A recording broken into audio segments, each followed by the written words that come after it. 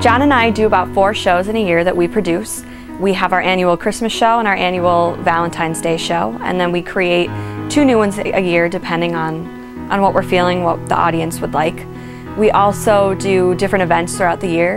It, it varies how many we do depending on what the clients want. We have nonsense that we do. We also have our Christmas carolers, obviously is, is all in the month of December, and any other birthday parties, anniversary parties that we get called to do.